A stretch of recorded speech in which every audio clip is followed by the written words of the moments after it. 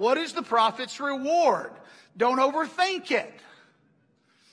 The prophet's reward is that he goes after a thing, and when he goes after it, he gets it.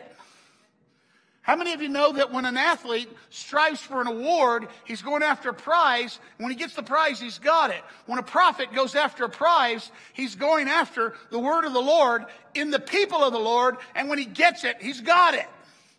And how many of you know that not only is the prophet rewarded, but the people who receive what the prophet is bringing is rewarded? Well, whose, whose reward are you living in? What words of life have come over you that have been transforming for you? What healing miracles have come over you that have been saving for you? What is in your life?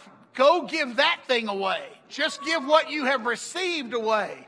And this is why we're constantly saying that the testimony of Jesus is the spirit of prophecy, meaning that the person who receives a thing carries a thing and can give a thing.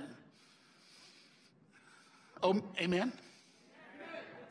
This is why Steve Stewart wants you to go with him to, to where you can get out of your environment where you're cloistered by the mindsets and by the restrictions that are upon you here. Go into an environment where there's less restrictions, more expectations. Carry something, experience something, come home, and now you have less restrictions on you here. Do you, amen? So there's crazy people in this church. Get with them.